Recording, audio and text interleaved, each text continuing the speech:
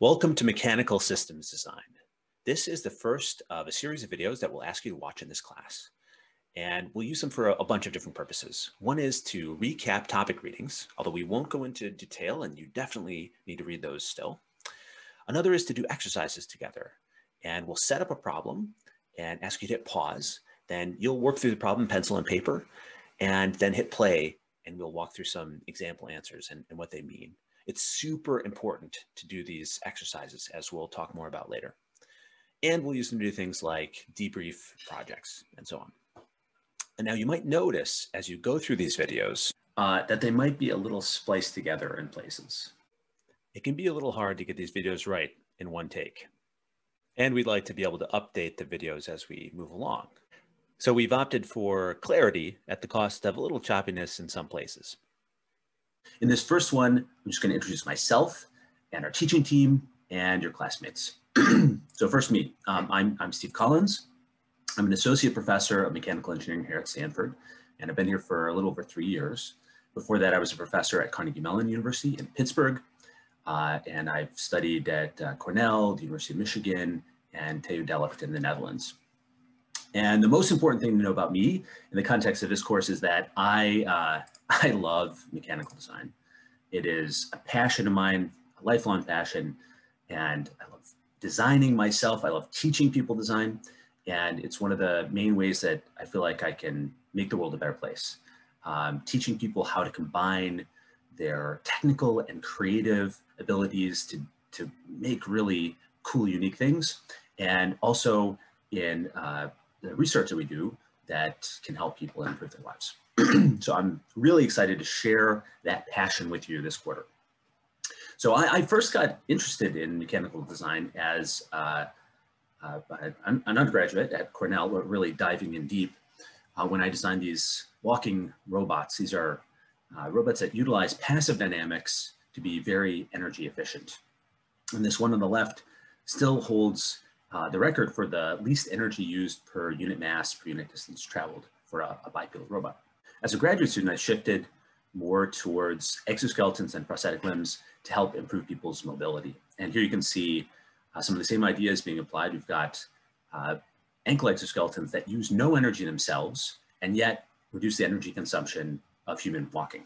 And of course, to make these things work, we need really robust systems that are very lightweight uh, so we don't impede the person too much when they put it on before it starts to, to give them a benefit.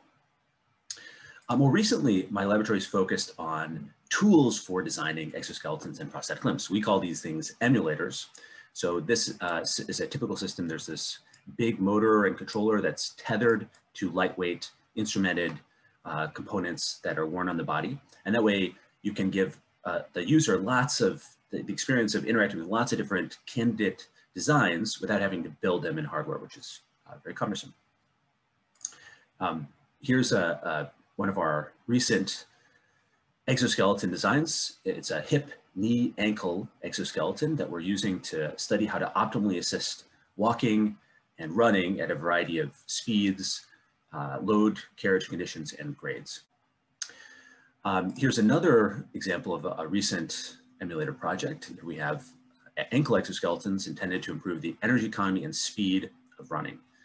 And on every step, the exoskeleton helps the person push off with their foot. And you can see that uh, these big motors here are uh, doing the work. Um, we've, we also study prosthetic limbs for people with amputation. Uh, this one is intended to try to help people maintain side-to-side -side balance uh, especially when they walk on uneven terrain. And of course, if we're really going to study balance, we need to uh, challenge people's balance. So here's a, a system we call BumpEm. It's an open source perturbation platform for laboratory tests and maybe someday clinical tests of balance in people with uh, impairments. So we, there's a bunch of uh, great projects like this in our laboratory. I'm privileged to work with a fantastic group of people. This is uh, from summer of 2019, but our group still looks a lot like this um, amazing PhD students and postdocs who all have these projects that stand to improve people's lives by designing better technology, especially for people with impairments. And um, all these projects are heavy on biomechanics and, and, neuroscience and control, but also mechanical system design at the, at their core. So this is uh, an experience that I draw from a lot in teaching this class. I want you to be able to do things like the things we do in our laboratory. If you're interested in this kind of stuff, you can learn more at our website. We've got a bunch of media, videos, uh, papers there. And uh, you can also follow me on Twitter at Steven H. Collins. We talk about our research and lots of other things in these areas. Now, I, I think it's it's important to remember that uh, we're all people too. So I, I'm super passionate about teaching and my research, but I also am passionate about um, my, my family. I spend a lot of time with these two guys here, Ty and Max, uh, now four and seven. And we go on adventures to the beach and the woods. They love to uh, get out in the snow when they can, or just dig in the mud. They are uh, scholars. You can see them going deep in the literature already. And they're even starting some engineering projects. Uh, this is uh, civil, but you know, close enough. And I'm also very lucky in all this to, to have a, a great uh, partner and my wife, Lisa. Um, so uh, now having these kids is wonderful, but uh, if you see me, if I seem a little tired sometimes, if uh, like maybe today, it may be because I was uh, kept up all night by the kiddos. Um, and I also, I'm, um, you know, outside of, of, of those things, if I'm not teaching, doing research, or um, doing family time, I'm probably out running, uh, riding my bike, uh, or surfing, and sometimes skiing. So that's a little bit about me. And next, we're excited for you to get to know the teaching team. And we're going to do this at our first coaching session. We have a truly outstanding group of CAs this quarter with a diverse set of deep technical backgrounds in mechanical design. And you're going to get the chance to know at least one of our team really well as they lead your coaching group for the quarter. But you should feel free to reach out to any of us at any time. We're here to help. And that's a little bit about us. Um, so now let's hear a little bit about your classmates. The teaching team and I are really looking forward to getting to know all of you better. And we're watching the survey results as they come in, but we tend to find similar trends in ME 104 students quarter over quarter. So here are data from a prior quarter to help you get a sense of who will be taking this class with you.